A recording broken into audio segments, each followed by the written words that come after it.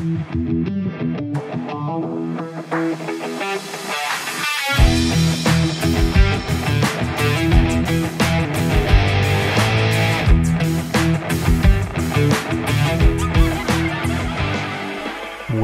back. Ladies and gentlemen, it is episode number 26 this week. I am recording this one on, it's actually the 21st of December. I'm getting in early so I can set it and forget it.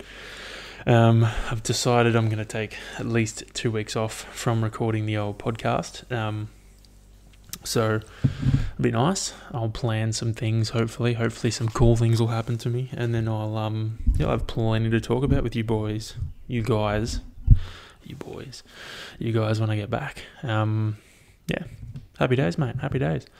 I uh, gave myself fresh trim today. Have a look at that. Look at that. Obviously, you can't see if you are um, listening, but it's pretty fresh. So just think of the freshest haircut you can think of, and then imagine that on my head. That's what it is.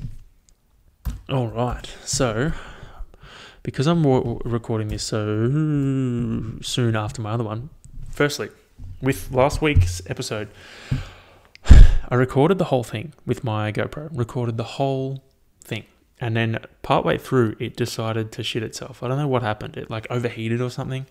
Um, I'm also wearing my fresh as Deck the Halls with Dragon Balls um, Christmas themed t shirt. It's, it's amazing. Um, yeah, halfway through, it decided, not even halfway through, 13 minutes in, it decided to be like, nah, not gonna, not gonna record anything else. So it would a bit of a spew, but probably a blessing in disguise. Because clipping it up is, it's not really, it's not that hard, but it's just a bit of a pain in the ass. Like, I spend a bit of time clipping the podcast and then uploading it to the temp the Canva, so I can put it into the templates, and it takes a bit of bit of fucking around. So, you know, probably a blessing in disguise that I didn't have to do that this week, um, because I didn't have the much didn't have much video to do it with. So I, I'm still going to upload it to YouTube, just to keep the flow going. But hopefully, this one actually records in its entirety. Um, so yeah, what did I do since I last recorded, eh? I so on Saturday, I'm sure most of you are aware, in Melbourne it was like 36 degrees, 35 degrees, and I fucking died. It was the first ride in ages, firstly, where I didn't have to wear um, a stupid amount of like cold weather stuff. So I didn't have to wear gloves, didn't have to wear a couple of layers of things to start. It was like, it was hot enough in the morning to just go with a jersey and my bib shorts. That was it. Usually I've got to wear a few layers and then strip down as the right like as the morning progresses because it'll warm up. But you know, it was it was hot to start. Like I didn't need to wear anything else other than my you know the standard kit. And then you know the ride was ride was alright. Didn't like it was hot, but it I don't know it didn't faze me too much out there. It um, I was on top of my fueling. I was a good boy. I did everything I needed to do. I drank plenty of fluids. Um, probably not as much as I should have, as I learnt later on, but I drank plenty. Um, much better than the week before. I was on top of shit, you know, and you know I thought I was doing pretty good. I thought I was killing it. Then I you know got home, switched out, put my running shoes on, and went out and hit the run. And like first four Ks, oh, I was like, I am killing this shit. Like it was hot but I was like, I'm killing this. And then it got to like probably 8Ks. I had 13 Ks to do. It got to 8 Ks. And I was, you know, that's when it kind of hit me. That's when the reality sunk set in. Um, and I was like, this is hard. I think I'm to, like, I think I'm to fucking struggle. And then it slowly, slowly, slowly, it just got hotter and hotter. And I just felt it like I was, I was losing out. And then I got back to the car. Like, thankfully, Caitlin, Caitlin came and picked me up and rescued me. Um, got back to her car and I was like, I'm fucked. I was gonna have an ice bath when I got back, but I was just I was done, man. I came home, had a shower, and just lay down for a bit because I needed to like collect my thoughts. Um, it was yeah, it wasn't good, but it was good because it was like it taught it showed me where I, where I needed to be with my heat acclimation. Um, I would have thought it would have been better because I've been doing heaps of saunas, but you know the only way to really get better at it is to just do more in the heat. So uh, gonna have to do plenty of that over these next couple of months before Geelong. Because Geelong is always, every year I've done it, it's always warm. Like it's always a good day. So I'm probably jinxing it now, but it's always a hot day. Like you finish, by the time you finish the run, you're hot as, and you're you're gonna you feel like you're gonna black out. I felt exactly how I felt on the weekend. Um, so yeah, almost fucking died on Saturday. And Saturday morning, I thought I got spat on by a truck driver, which is kind of disgusting if it did actually happen. I was, you know, riding along, and then all of a sudden I got like this wetness, like this wet kind of sprayed uh, over my hands and my legs, and I was like, "What the fuck was that?" And, and it was as a truck drove past on the other lane, and I thought, "Nah, there's no way that my fuck it spat on me. Like that's disgusting. Spitting on someone is like the worst thing you can do. Like I feel like it is definitely the worst thing you can do. There are so many things that you can do to other people that aren't as bad as spitting on someone. I'm just putting this bit of paper under the microphone because it's like it's moving around heaps. Um, yeah, I feel like spitting on someone is literally the worst thing you can do to someone. It's like the ultimate disrespect and degrading, you know, fucking piece of shit move you can do if you spit on someone. So hopefully he didn't spit on me. But like as soon as I thought he spat on me, I was filled with so much rage. Um, so I had to let that go pretty quick. I was like, he didn't. It was just the fucking, you know, windscreen wipers, as Caitlin said. She was like, he was probably just trying to wash his window. He didn't spit on you. I was like, yeah, you're right. Just getting mad for no reason. Um, what do I what do I listen to this week? So going this is this is flowing on well from last week's episode. I actually listened to an episode with oh, I know his name off the top of my head. I gotta remember it. Jimmy Corsetti, I didn't know it off the top of my head, with Joe Rogan, episode 1742. Uh, like it does his own YouTube channel and stuff, but it was they were talking about like the pyramids and um, you know the, the phenomenon around that kind of stuff how ancient civilizations build used to build things. Um, and there was like one of the a theory they were talking about quite um, throughout the majority of the episode was basically that like these guys built these fucking giant pyramids with blocks. Like they moved blocks hundreds of miles that weighed like 100 tons, 70 to 100 tons, which is wild. And they were cutting through, like, how the fuck did they used to cut these granite blocks out of, you know, out of mountains with the tools that we expect them to have back then? It's insane. Like, they were doing tests on the, like, oh, what were they doing?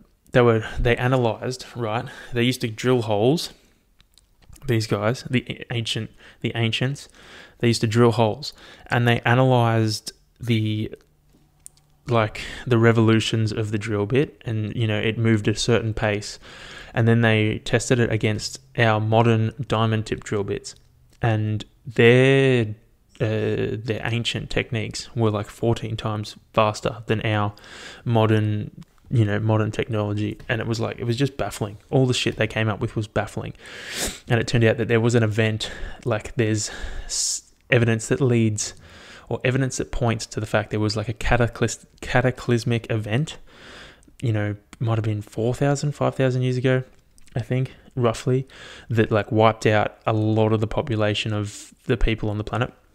And they reckon that's what wiped out these, the like, the people or the civilization that built the pyramids and did stuff like that. Because it was, if you look at it, they're pretty technologically advanced, the techniques they used and the way they built things in comparison to what we, we think that they, they're capable of back then. Like, that's a long time ago, and they were building shit like that. They were probably better than we are. They were probably more advanced than we are today. Well, they obviously were in the fact that they could drill better than we can with the shit that they, they had back then, or we assume they had back then. And anyway, there was evidence proving or showing that there's been a cataclysmic event that potentially wiped those guys out. And obviously, along with it, took their techniques and it just got me thinking. I was like, fuck, man, it'd be so cool to go back and just witness those times and see like what it what it's about. And oh, another cool thing was that um, they were saying that there's no real evidence that says that the pyramids were tombs for pharaohs. There's no real evidence. Like there were never any, you know, um, mummies found in there. There was just like there's no real solid evidence that says that the pyramids are tombs. There's n- none of the none of the drawings or the, the the script like the the writing on the fucking wall is um, points to it being a tomb. Nothing. There's no real solid evidence that says they're tombs. It's just you know, I think he described it as I think it was like the British when they invaded. They started saying that they were tombs for the pharaohs because that makes sense. Which is weird that we you know just went with that. Um, there was there's a guy out there that has a theory that because the Nile River used to you know run through the steps of the the pyramid pyramids of Giza, that they were actually used to generate power, and the water used to flow through the pyramid, and it would be a way to separate um, the hydrogen and generate power or energy. So I don't know. It's just crazy, man. Like we we have no fucking idea what went on back then. And if you're into that kind of shit, list give it a listen. It's worth it. He's on um on YouTube, Bright Insight. I haven't watched any of his videos, but I'm gonna because I love I love this kind of stuff. It's just cool to think, you know, how far or how far ahead we were back then. So yeah, I'm gonna I'm gonna be checking that shit out. And I advise you if you're into this kind of stuff, give it a listen because it's just cool. Like it's cool to think about. I could get lost in it and talk about it for hours. Um, I love that kind of shit. Love it. Like I said, I've, I think I've mentioned it before. I hope when you die, you get given, you know, you get to see this kind of stuff. You get to see how it was all done, what happened, you know, all that kind of shit. They're also talking about in Chile, there's like this underground. I'm going to see if I can Google it. So if you guys are sitting there doing nothing, you can Google it along with me and find out exactly what I'm talking about. So, un- underground. I think it was in Chile. Underground village in Chile. Chili. I'm not looking at chili noodles, mate. It was. Oh, I think it was in Chile. I suppose not. Underground village in. Maybe it was Peru. Ah, shit, not Perry. Bum bum bum bum ba da ba da ba da ba ba ba ba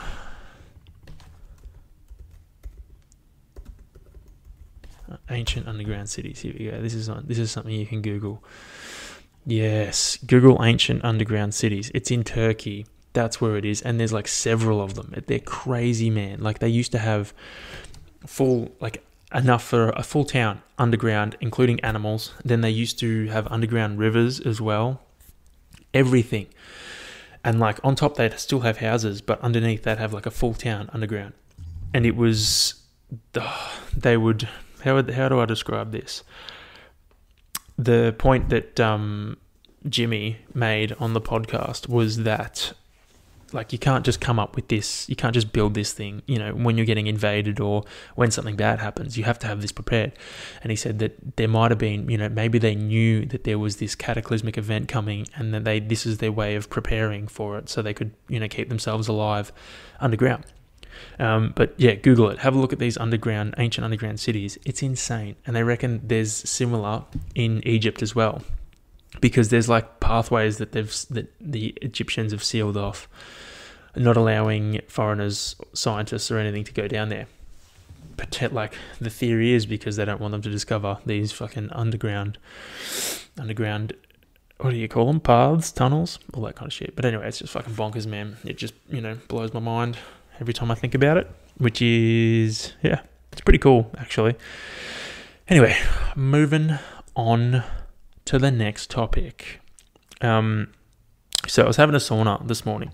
I had a an easy run this morning, and then um, a swim, which I decided to. I was supposed to do, to do them separately, but I was like, yeah, fuck it, I'll knock them out, knock them both out at once, so that I can be done for the day. So that's exactly what I did. Um, anyway, yeah, had a was having a sauna this this arvo no this morning, I'm losing the plot, mate, and I was thinking, who invented saunas? Like, who invented them? Who was the first person to like come up with the concept of a sauna? Because it's pretty weird, don't you think? Like this room that they make really hot with fire or heat, and you sit in it. Like, who came up with that concept? and that got me thinking even more. I was like, you know, it's pretty hard in it's pretty hard to sit in the sauna for a for a long time. Like it gets pretty hot, gets pretty you know gets pretty dicey towards the end. And I was like, maybe it was used as a torture technique. And then one day, just say the Romans were torturing these these guys from Finland, and they had them in the the, the, the sauna, the torture chamber, and they were just in there They're like, yeah, these guys are gonna fucking break. These guys are these guys are breaking for sure. And they're you know the ancient the ancient Romans are all dressed in their fucking armor with their swords, and they're like, yeah, let's let's leave them in there for a bit, and we'll come back and get them when they're when they're begging for mercy. And they leave for like twenty minutes, and they come back, and these these Finnish dudes are just sitting there, these like kicking back, you know, in their white towels, just chilling um, you know, having a laugh. There's one dude who's just butt naked with his with his nuts hanging out. You know, they're they're all sitting around talking shit, sweating up a storm in this in this uh, torture chamber. And then they're like, you know, they're sitting there like, "Fuck, this is actually pretty good. Maybe we should bring this back back home and, um, you know, tell the towns, tell the towns to get around it." And then, uh, yeah, the Romans come back, they see him there, and they get really annoyed because the, the, the torture hasn't obviously worked. And then they let him go. Um, yeah, anyway, I was thinking about it and I was like, that would have been hilarious if that was the way it actually eventuated. But then I did some research and that's not the case. I, I had the page open, but um, I had to restart my laptop because it was being weird. I had a wig of Sayona eventuate. I had a weird experience just before recording this. Um, I, yeah, all my technology was wigging out. I didn't like it at all. I was, wow, where is this? Sorry. Two tabs. Here we go. Got it. Um, yeah, so I had a weird experience before doing this. My, all my technology was wigging out. Like my GoPro wouldn't format the, the um, little SD card, and then my laptop wasn't opening, working properly. Like it wasn't opening GarageBand that I used to record this podcast. wasn't connecting to the internet. Nothing was working properly. I was like, "What the fuck is going on? This is so annoying." And then you know my GoPro was freaking out. The only thing that wasn't on the fritz was my phone. But you know, I got there, restarted everything, and here we are. You know, recording a podcast for for my family, for my guys. Christmas edition podcast with me and my Christmas shirt. At this. There's Piccolo, Goku, Vegeta, the boys. Anyway, history of the sauna. Sauna, correctly pronounced so na. So sauna. It's sauna. Sauna. Sauna is the only Finnish word in the English dictionary. It means bath and bathhouse. Sauna has been a way of life in Finland uh, where it was invented for over 2,000 years. Every time I think of Finland, all I can think of the Dudesons all I can think of are the Dudesons. They were the fucking bomb. If you haven't like Googled, if you haven't watched videos of the Dudesons, do it. It's fucking hilarious. Um, they're like Jackass, but they do wild, wild shit. Like they once burnt their own house down because they wanted to, because they were cold. So they decided to light a fire in the living room and then they burnt their entire house down. Crazy shit. Anyway, um, bathhouse sauna. Sauna has been a way of life in Finland where it was invented for over 2,000 years. One of the first written descriptions of the Finnish sauna was in 1112. The earliest sauna was dug into an embankment in the ground. Later saunas were built above ground with wooden logs. The rocks were heated in a stone stove with a wood fire until the rocks were super hot. The room did not have a chimney, but a small air vent at the back wall. The smoke was allowed to fill the room while it was heating. It was a half a day process to heat the room, uh, heat this type of room. When the sauna reached temperature, the bathers entered after the smoke had cleared. The walls, walls, ceiling would become dark black. The original sauna was called Savu, Finnish for smoke. So, um, Savu sauna. The name sauna it thought to be derivative of the word sauna, literally in smoke. The sauna later evolved to the more typical metal wood stove heater, chimney, blah, blah, blah. So the Finnish created the sauna. That's pretty cool. Imagine that, like in the old times, you're having this, you know, you got a bunch of, I imagine they wouldn't use small rocks, they would use big rocks. So you got all these big fucking rocks sitting in the middle of this wooden hut that you heated up with, um, with a fire, and then you just dump Imagine they would have dumped water on the rocks. That'd be pretty fucking gangster. But they reckon nearly everyone in Finland has a sauna in their house, um, which is pretty fucking cool when you think of it. So yeah, but I like my idea of you know these Roman, these Roman fucking dudes capture, capturing these Finnish guys and putting them in a sauna or in a in a in a torture torture chamber, really hot torture chamber, and them actually enjoying it. Um, yeah. Anyway, so this morning I woke up and my phone was dead flat. I had knocked it. It has it uses one of those magnetic chargers, and I had knocked it off over like before I went to bed. I think because it was flat yesterday, and I just did, knocked it off before I went to bed. So I didn't charge properly at all last night, and obviously jarred over. So I woke up and I was like, "Ah, oh, shit. Um, what do I do now?" Because you know you need your phone. You need your phone um, these days. So I woke up, charged it for like you know 15 minutes while I got ready to go, and then I I left. Um, I was spewing. I wanted to really wanted to listen to a podcast, but you know couldn't while I was running. Uh, but that led me to think. I was like, because I had to check in when I swam at the gym afterwards with my phone thing, um, and show the like the vax certificate. I was like, well, what are we supposed to do if our phone goes flat? Like, what do you do? Like, it's a common problem, I presume. Like, for me, I didn't expect it to go flat, and it did. And I got there, and I was like, shit, imagine if my phone was completely flat right now.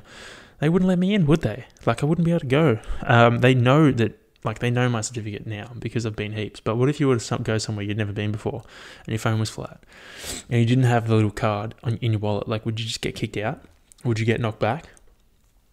Like, is there a fucking government database that they can search? I don't know just got me thinking. I was like, crazy, because I know you can check in by hand by just writing your name and number and all that kind of crap. But if they need to check your fucking vax certificate, they ain't going to be able to do it if you don't have your phone. Unless you can log in. Maybe they'll let you use their computer or their computer system or their phone or something to log into your MyGov account. But even then, usually your MyGov is linked to your phone so you can get a number or a text message. Man, they haven't thought this shit through, have they? I reckon so many people are going to get get caught in the dark with this. So make sure you charge your fucking phone. Don't go. Don't let it go flat because you could be left outside in the dark. Hmm. Yeah. Wild times. Wild times. Do you reckon Santa needs you to be vaccinated? Oh my gosh. What happens if? What happens if Santa only visits the vaccinated? Like, is that is that going to be a thing? Like, what's what's going to happen there? What if Santa, like, oh, not all, not kids didn't get the vaccine, so it didn't doesn't really matter. It doesn't affect them, does it? But Santa's really old. Like, he's an old dude. Shouldn't. What if he gets COVID and fucking kicks the biscuit? I don't know. I don't know, man. I reckon we should all have to show our vax certificates to Santa Claus, otherwise we don't get any presents. Um, because he could die. He's he's in the high risk category he's probably really high risk because he's probably hundreds and hundreds of years old. So he would be really, really high risk. Good old Santa Claus. Wild. Um.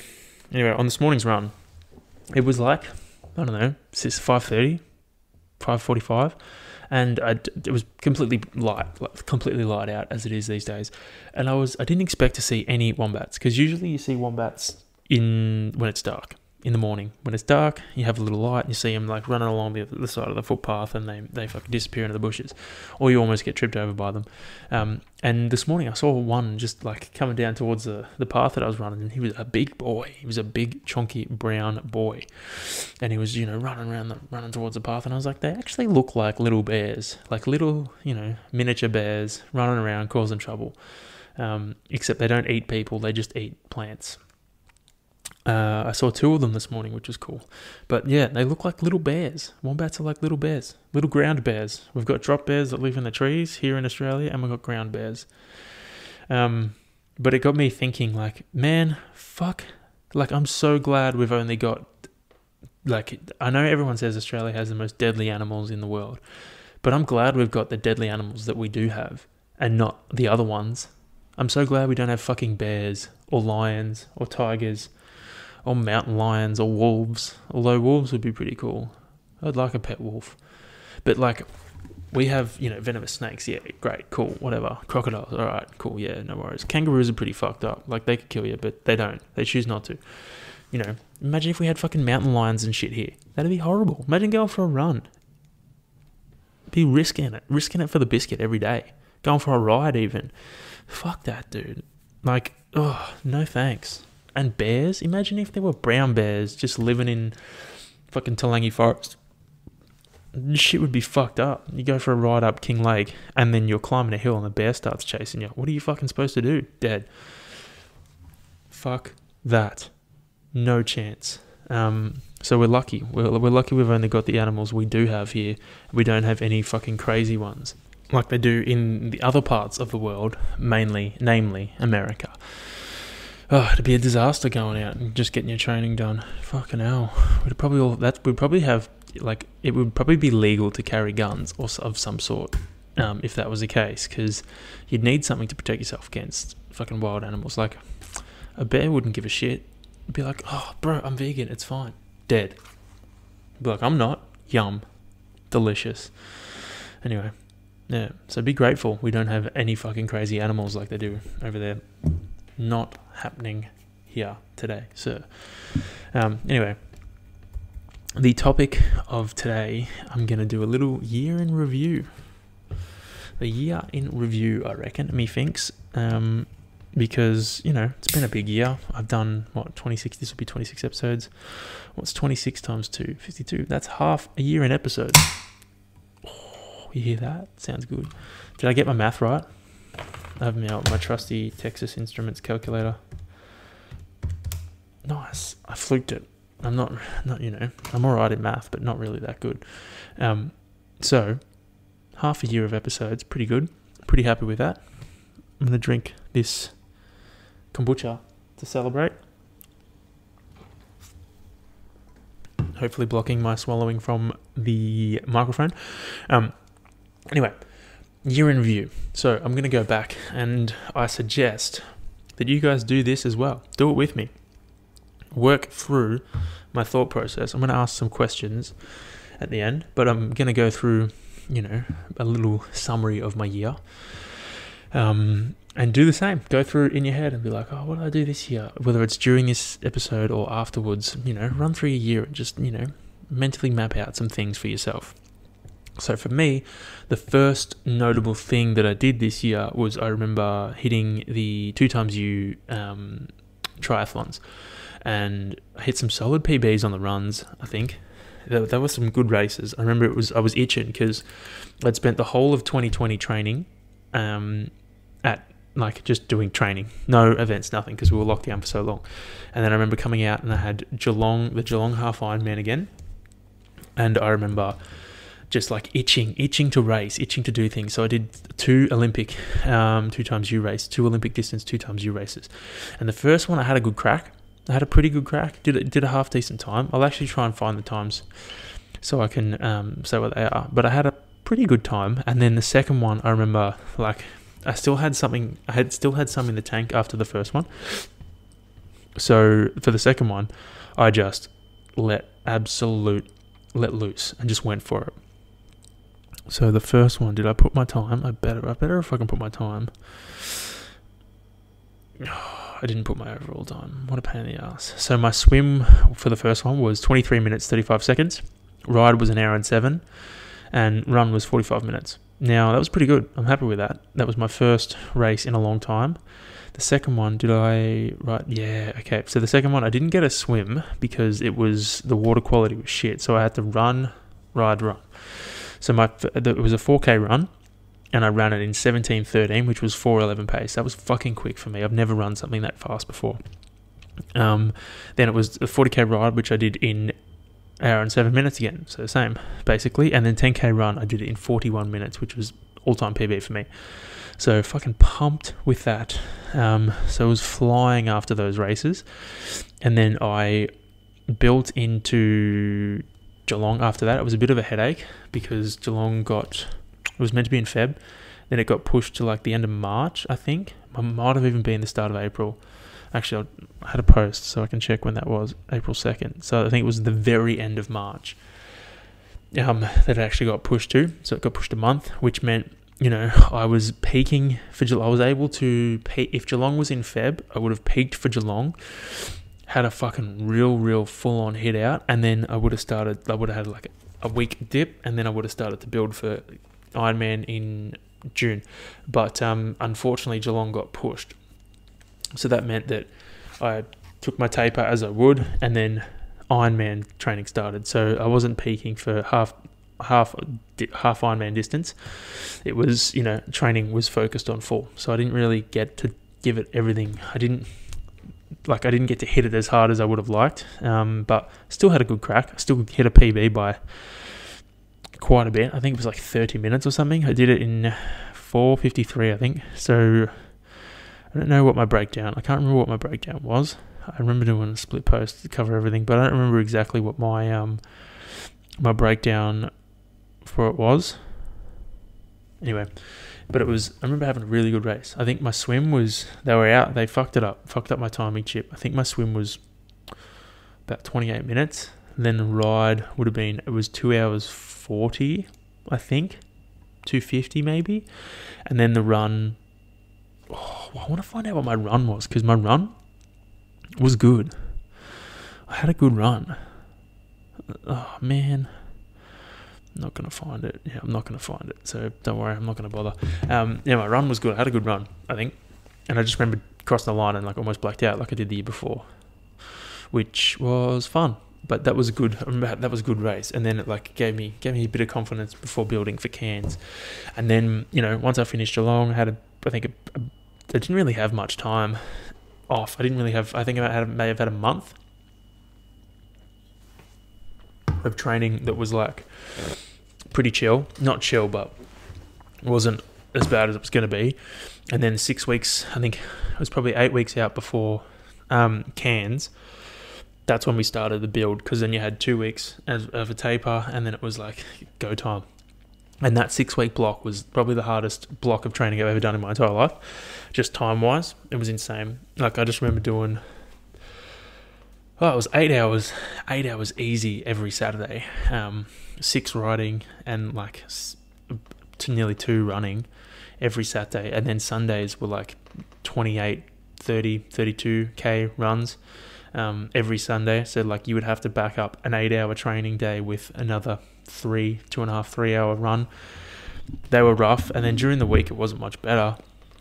I was swimming, I think, 12, 12 to 14 Ks every week in the pool while running, I don't know, I think I was running like 70, 80, 90 Ks a week. And then riding was, you know, up above 350, something like that. Three, maybe even more. It was just hectic. It was hectic. I didn't have any time for strength training, um, and it was just all the time, go go go. I was very tired, but by the end of that six week block, I was like, how the fuck you? How am I supposed to race? Which is exactly how you're supposed to feel. You're supposed to be just absolutely flattened because you've got two weeks to taper and get better. Or you've got two weeks as like a bit of a deload before, like to adapt to the fitness that you've just fucking smashed and get a bit of recovery back in before you hit the big run. And then, so obviously that brings me to the biggest event or the biggest accomplishment of my year was ticking off the Ironman. Finally, finally did it. Finally ticked off the big, the big one that I've been training for for a while. Um, I'm fucking pumped with it. Like you know, it's probably one of my biggest accomplishments, and um, I can't wait to go back and do another one. I don't know when that will be, but I would like to go back and do another one and do a better time. I'd like to go sub ten, like I said, um, which I think I can do. I just got to you know train diligently and focus. But at the moment yeah, I'm not gonna definitely not doing one next year. No way. Like next year after I do Geelong, I think I'm gonna take a bit of a bit of time off from tri training because I just want a bit of time back my life. I want to do a bit more strength training. I want to do different things. Like I still want to ride and still want to run, and still want to swim, but you know I, I want to do it on my terms. I don't want to be you know having to do two two sessions every day. Like that's that's killing me at the moment. I want to just you know maybe train in the morning and then do whatever. So um, yeah, I'm gonna I'll focus. I'm gonna figure all that shit out next year. But for now, I need to hit Geelong and I need to get a good fucking time. So, yeah, after I fucking ticked off Cairns Ironman, that was I was pretty pumped with that, especially with the COVID breakout that happened just before. I only just managed to get away and do it, um, which was yeah very lucky, very very lucky with that one. But we got there, we did it. um, and then was lucky enough afterwards to go and have a little holiday with Caitlin in Byron Bay afterwards, which was really nice. I think we spent five or six days there. It was super chill. Um, I'd love to go back and be you know relaxed because I, I, had a bit of stressful, had some stress going on um, while we were there that was kind of annoying me. I'd love to go back and just chill out for maybe like fucking 10 days or something and just chill the fuck out and just really soak it in because I didn't really get the chance, unfortunately, to do that. Like, I enjoyed it, but I could have enjoyed it more. Um, and then, you know, once we got back from that, the shit kind of hit the fan at home and at work and all that kind of thing.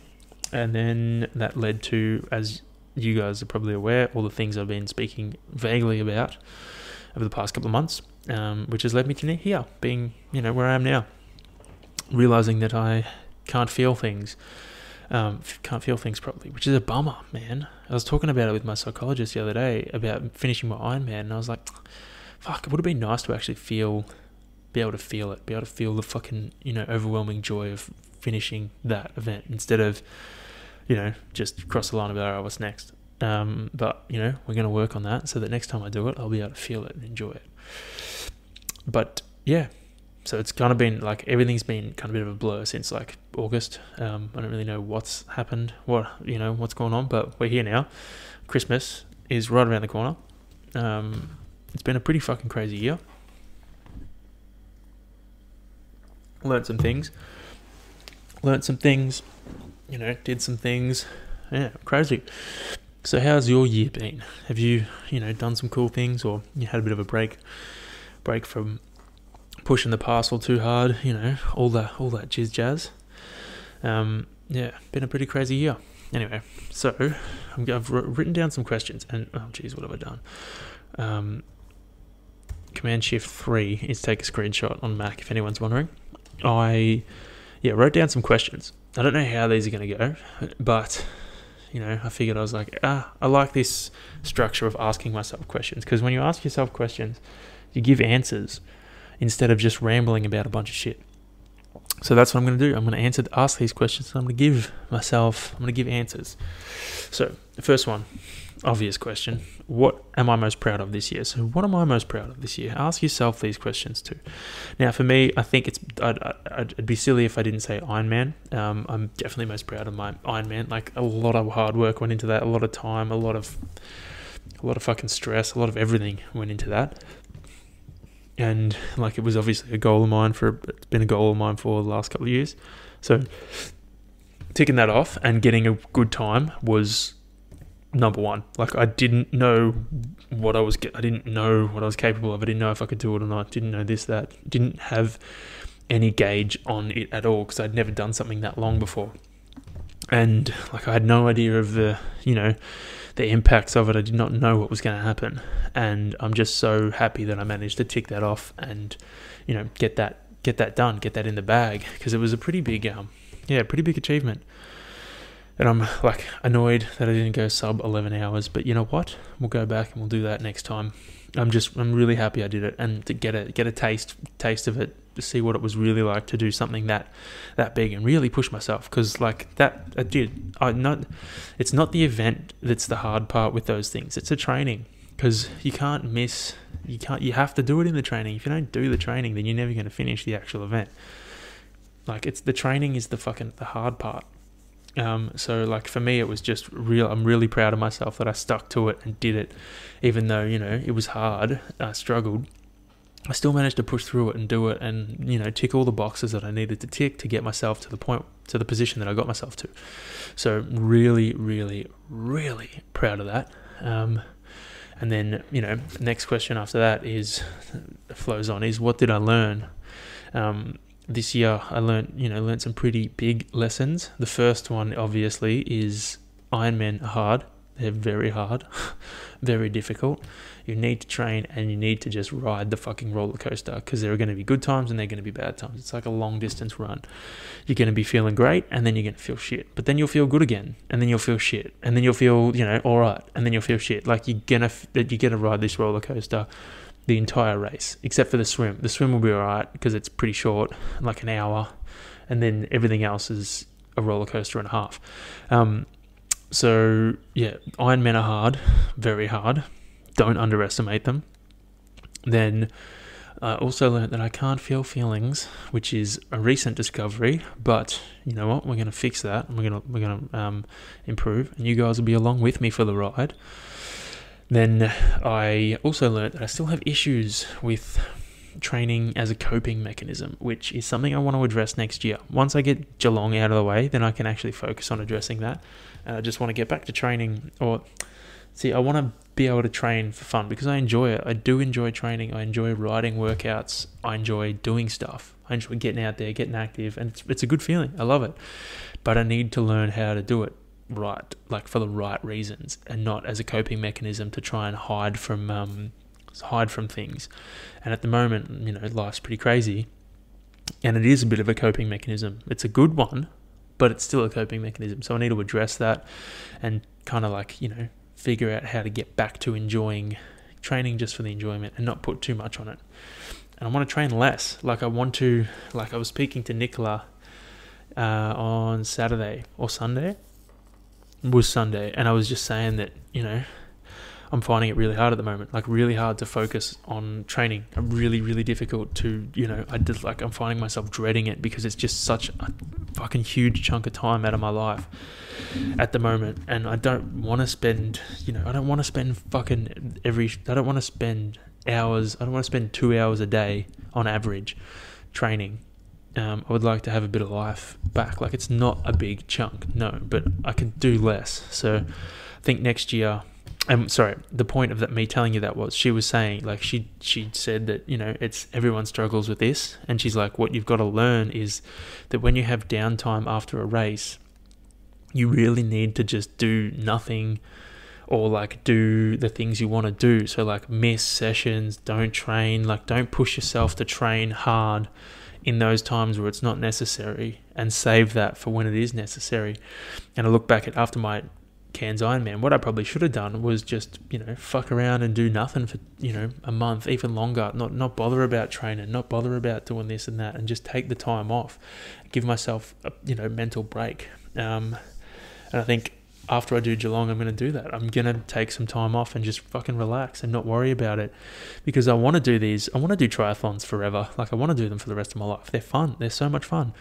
I fucking love them. So I need to get myself in a good rhythm or a good habit to be able to do them forever um, and not actually not like end up burnt out like I'm feeling at the moment. Because I feel I feel proper burnt out of this. Like it's hard balancing three disciplines. It's a lot of fucking work. Like I don't know if any of you guys listening to this um, have done or do it, but it's it's hard. It's fucking hard work. And if you do it all year round, rough. And I've been doing it for a long time, so I need to you know, reset myself and then come into it with the right attitude of, you know, maybe build up for a couple of races and then just switch off for a bit. And then, you know, I need to get used to that feeling of, you know, being okay with losing my fitness and then building it back up because you can't be, you know, at your peak fitness all the time. It's just not possible. So I need to get used to that ride on that wave of, you know what, fitness is not as good as it should be, but I'll build back up to get it to where it should be. And obviously with that that gives me more of a chance to do more strength stuff more of the stuff that i fucking love in the gym like hit some heavy weights and do that kind of stuff. Gives me a gives me a chance to do more of that. And more sprint stuff too. I miss doing like fucking minute long workouts that suck. I haven't done one of them in ages. I haven't done some proper fucking ski intervals or like air bike intervals in such a long time so I want to get back to doing them. Like I want to get back to doing some Thursday thrashes with my boy. I need to, I miss all that stuff. So, you know, hopefully, um, after I tick Geelong off, hopefully, I'm saying all this now, but you know what's going to happen? I'll do it, and then I'll be fucking pumped. I'll be so pumped that I'll sign up for another race. Might probably end up doing Shepparton. I don't know. Hopefully not, but we'll see. Anyway, I need to learn to, you know, ride the ride the wave of competing better competing better so that I can, you know, fill the cup back up. Um, now, next question is so I'll go negative then positive. What were some low lights? Obviously, I can't really talk about this. Hey, low lights were this stuff that's kind of happened recently. It's a bit of a bummer. It's put me in a position that I don't really want to be in. Um, no one does, but you know what? You have to just fucking deal with it. That's life. You got to overcome it and move on. Overcome it, power forward, move on, um, and just take it. Learn some lessons from it. Like I've learned plenty from this, and just you know, fucking take it in your stride and use it to improve yourself and use it to prevent stuff like this from happening in the future. So that's all I can do. Um, I think there are birds in the gutters. That's all I can do is take it in my stride, learn from it, and you know push forward. But it's like one day I'll talk about it. That's why I'm taking my psychology diary so I can go through and fucking tell everyone everything. I might even write. I should write a fucking book. That'd be great. Um, yeah, that way I can you know go through it and explain everything to everyone what happened, this and that, and then hopefully shed some light on on it. But for now, it's been a fucking massive. It's probably been the biggest low of the year. Um, it was in a pretty dark, pretty dark and gloomy place back in August, July, August. Yeah, pretty fucking shit place. So, you know, feeling better now, feeling much better, in a much better headspace. I'm lucky I got my training. Grateful I've got Caitlin. Grateful I've got a lot. Like grateful I've got the family that I've got grateful I've got a lot of things in my life um, that have been there for me, like friends, so much. It's just I'm grateful for a lot of things. Anyway, what are some highlights? Obviously, the one of the biggest highlights would be my fucking um, car. I'm so happy with that. That's cool. I love my car. It's a fucking bomb.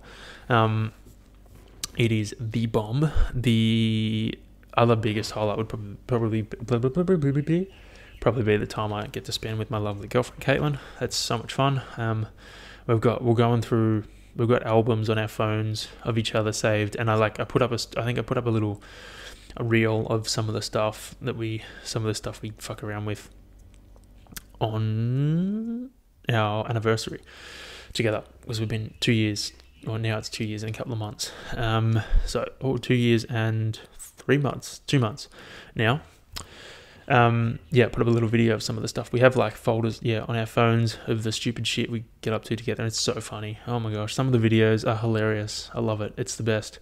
Um, so definitely a highlight of my year was just spending time with her and getting like more and more fucking good memories crammed in my brain.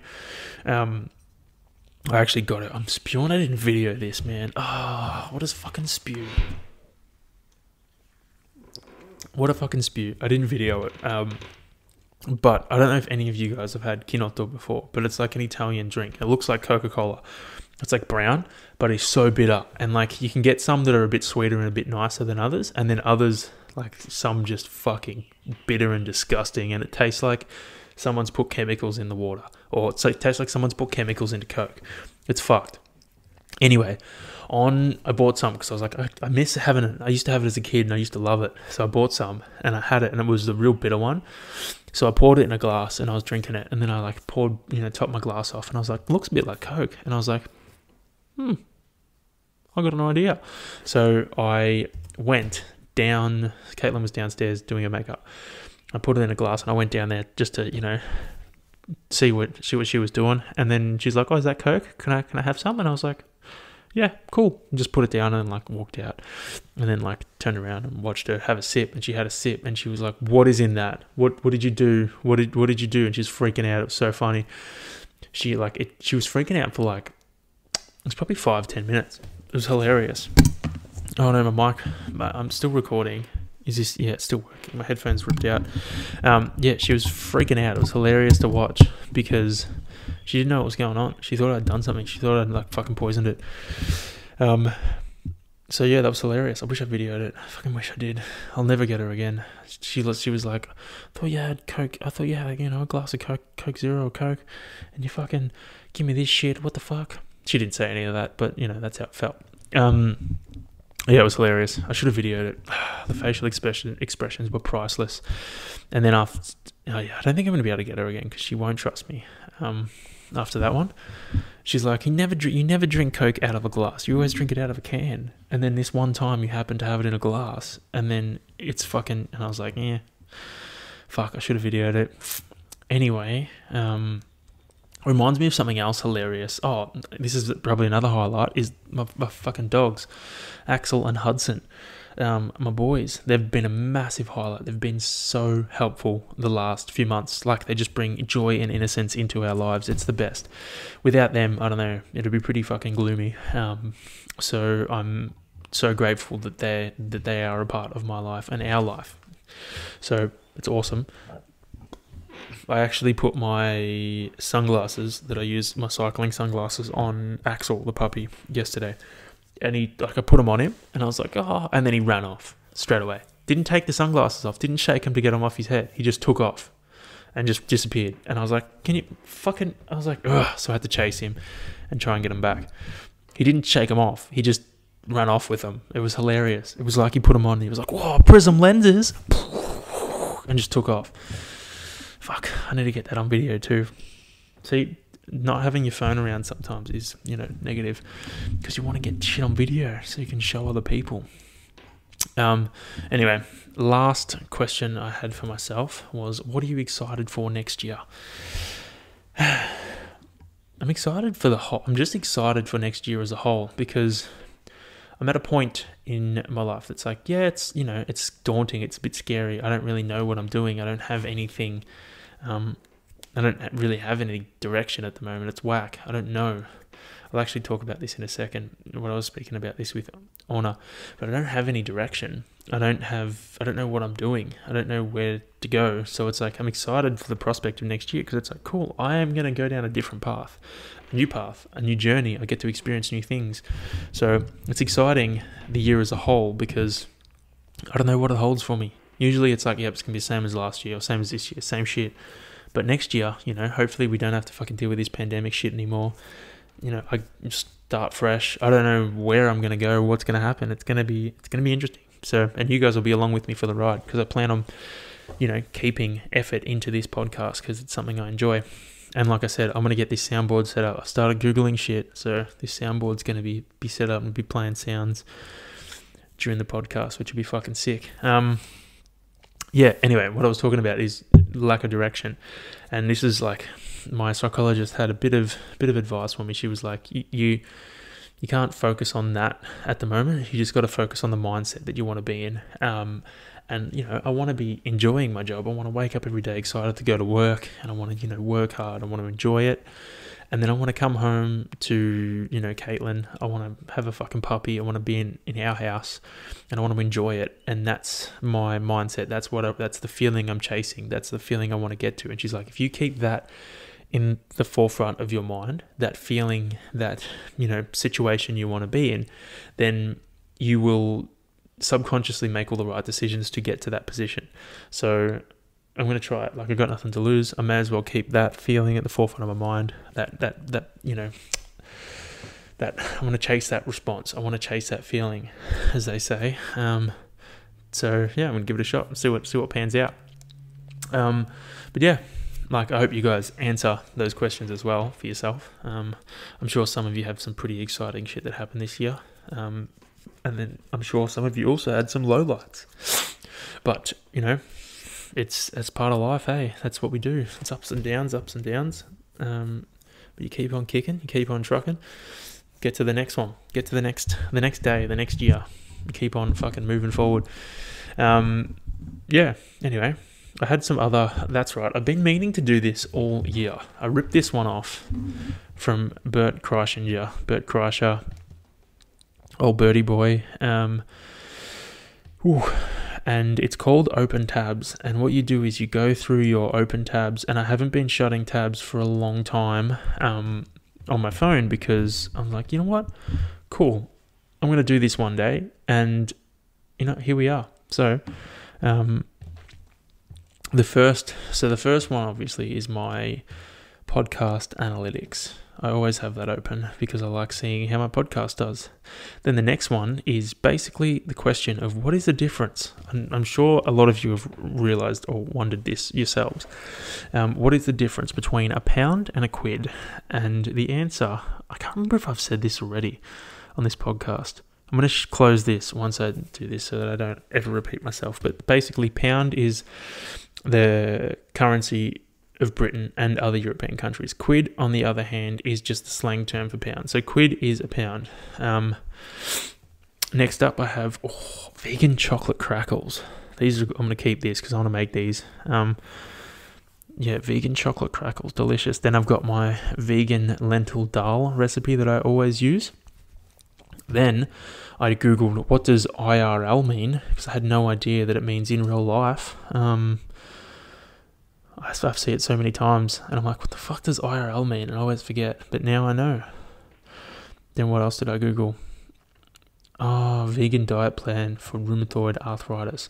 So there was I googled that because I when I had my bloods done, my doctor was like, "Yeah, you got some markers that could lead to rheumatoid rheumatoid rheumatoid arthritis," and I was like, "Fuck."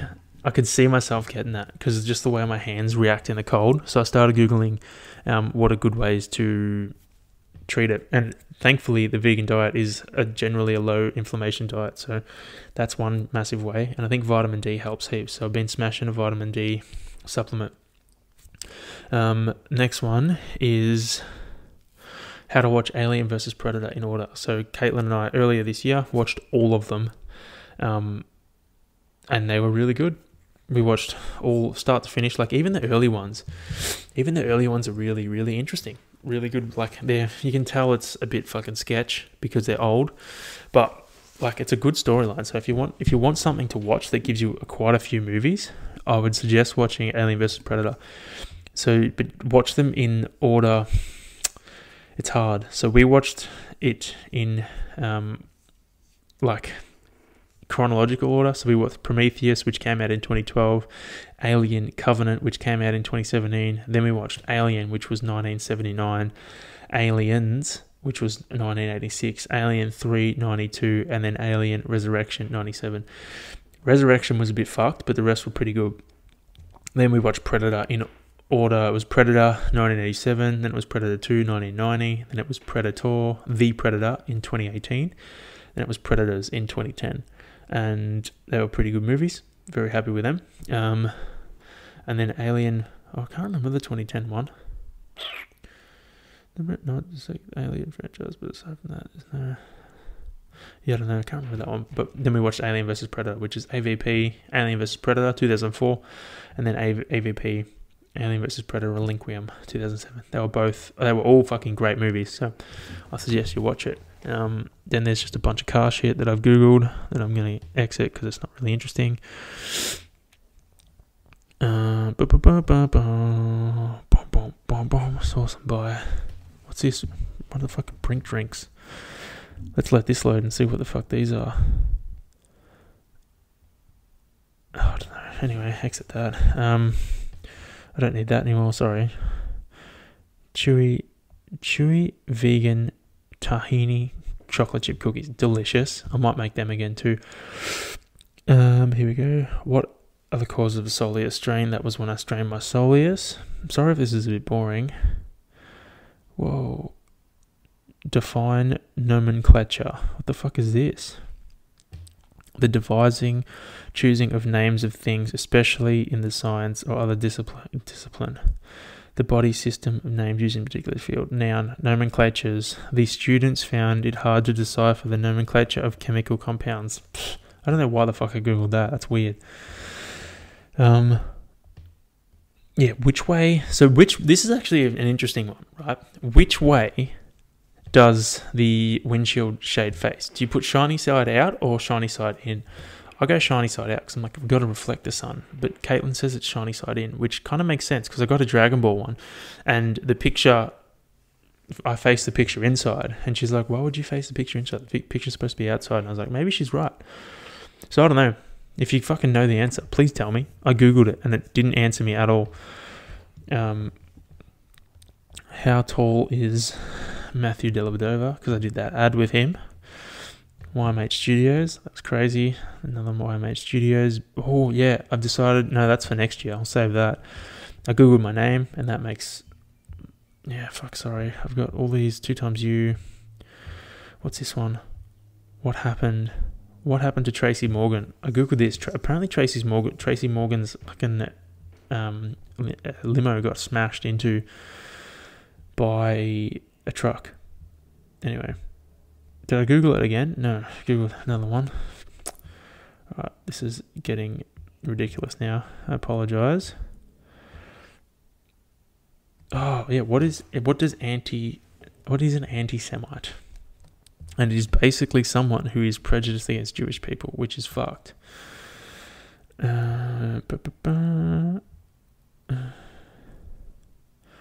I watched, we watched Elf the other day, and I had to Google whether a, a nor, narwhal, narwhal, the, the whale with the giant point, was real, and they are real. They actually exist. Crazy. Um. Ooh. Okay, I don't want to watch that. My events, don't know what that is. Run a rack. Run a rack. What words? Plan, planitude. Interesting. Um, pressure. I'm going to see if there's anything interesting before I, I do this. Oh, what's this? Creamy vegetable. Oh, risotto. I made risotto the other day for the first time ever. Winged the shit out of it and it actually worked, which is cool. All right, there's a bunch of shit that I'm just going to exit now because none of it's um, none of it's relevant except for that AdBlue. So, all right, this is in, this is actually interesting. I apologize for the last like five minutes; it was pretty boring, but this is interesting. So, if if you guys uh, are around the car scene, you'll know that um, there's an AdBlue shortage, right? And AdBlue, you add it's some it's another it's a thing you add to your car, uh, namely a diesel car, and what it does is it essentially like helps dilute the exhaust and I've got a little diagram here that I'll, I'll read out. But what it does is, so your diesel engine produces exhaust, right? And then the AdBlue mixes with the exhaust, and what it does is, it um, makes it so that all that gets put out is nitrogen and water, as opposed to nitrogen oxide and ammonia. So it's I don't know what chemical it is, but it mixes with your exhaust fumes and puts out harmless nitrogen and water, as opposed to exhaust fumes but there's a massive shortage of AdBlue. Like I think due to the um, supply chain issue in China and getting it over here in Australia. Um, so we are running low. So if your car has AdBlue, then you might be in a bit of strife. Um, thankfully, mine doesn't. But yeah, you might be in a bit of strife. Um, yeah, crazy shit. Anyway, um, that open tabs. I probably should just Google some pretty cool shit. That way, I've got some cool stuff to um to bring up when I do that again. Anyway, um, that is enough from me, enough rambling for today. I hope you guys enjoy this episode. I'm a big fan of reflecting at this time of year, looking back on the year that you've had, because whether it's good or bad, like you're always you're always able to pull positive stuff out of it. Whether it's been a completely fucked negative year, you're still able to pull out lessons you learn um, from the year. So, like, regardless of how it went, you're you're still able to actually benefit from it. That's why I like reflecting on things like this. So I suggest you do the same. Um, yeah. Anyway, happy fucking Merry Christmas. Have have a good New Year. I'll um I'll do one of these episodes. Fuck, who knows? I may do one earlier, but at the moment I'm planning off two. I'm planning on two weeks two weeks off. Um, yeah, Merry Christmas. I hope you guys got you know all the best gifts you could have gotten. Um, oh, I can can I say no? I'm not going to say anything. Um, yeah, hope you guys get some fucking you know killer presents and everyone is present. Um, yeah, it's a good time of year. Good time of year just to fucking enjoy it. Eh? Enjoy all the Christmas food you want. Don't fucking put pressure on it. Like it's just, it's one of those things. I never, you know, I would always put so much pressure on it, but now I'm shifted my mindset. I get to enjoy it. It's great. I have a 21k run Christmas Day, and then I'm going to follow that up with 21 kilometers of food. So very very excited for that. Um, yeah, I'm gonna make. We're gonna make gingerbread houses too this week, me and Caitlin. So very excited for that. I'll put up a picture to show you guys. I'm gonna make a better one than her. Um, I'm sure you'll all agree. Hopefully, but we'll see. Anyway, have a fucking ripper, ripper Christmas, guys, and a happy New Year. I'll um talk to you in 2022, boy. Fuck yeah, nice.